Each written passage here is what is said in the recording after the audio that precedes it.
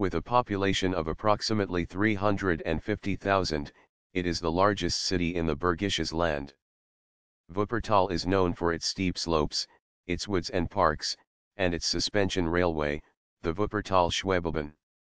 From any part of the city, it is only a 10-minute walk to one of the public parks or woodland paths. During the 18th and 19th centuries, the Wupper Valley was one of the largest industrial regions of continental Europe. The increasing demand for coal from the textile mills and blacksmith shops encouraged the expansion of the nearby Ruhrgebiet.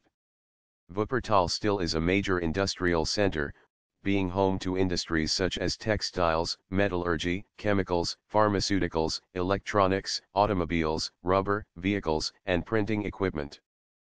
Aspirin originates from Wuppertal, patented during 1897 by Bayer, as is the Vorwerk Kobold vacuum cleaner. The Wuppertal Institute for Climate, Environment and Energy and the European Institute for International Economic Relations are located in the city.